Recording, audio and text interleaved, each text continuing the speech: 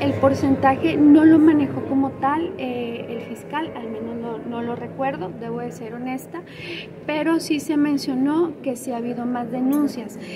Ojo, esto no quiere decir que haya más casos de violencia, sino que este programa ha favorecido a que las personas accedan de una manera más rápida a la denuncia. Bueno, eh, en mi caso es un instituto, todavía no somos secretaría, esperemos que después de 22 años de que sea un instituto eh, tengamos una secretaría de la mujer.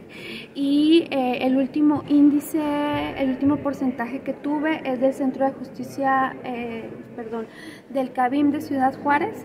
Y en promedio se tienden a 40 víctimas diariamente.